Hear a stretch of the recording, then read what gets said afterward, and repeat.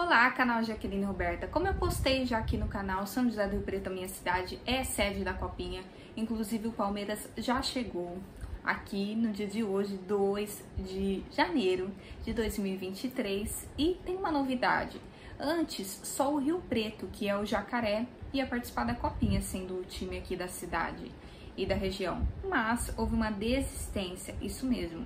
Vou ler aqui bonitinho o nome, porque talvez eu possa errar a pronúncia o time que, tam, que estava no grupo do Rio Preto para disputar a Copinha, o Santana AP, que é o clube amapaense, que está no, na chave ali no grupo do Palmeiras, desistiu.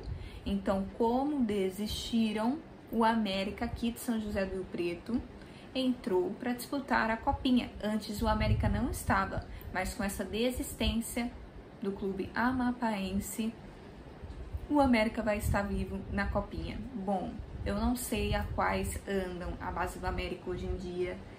Teve muitas polêmicas, teve muitos problemas aqui, então eu deixei de acompanhar porque eu acho que tava tipo zero.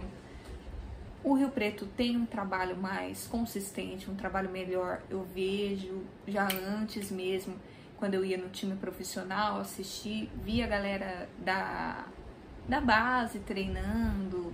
Então eu posso afirmar que o Rio Preto tem uma preparação melhor. Mas agora o América também vai disputar. Eu sei que tem meninos, eu sei que tem treinos que tem sim a questão da base do América, mas faz muito tempo que não disputavam e eu não via.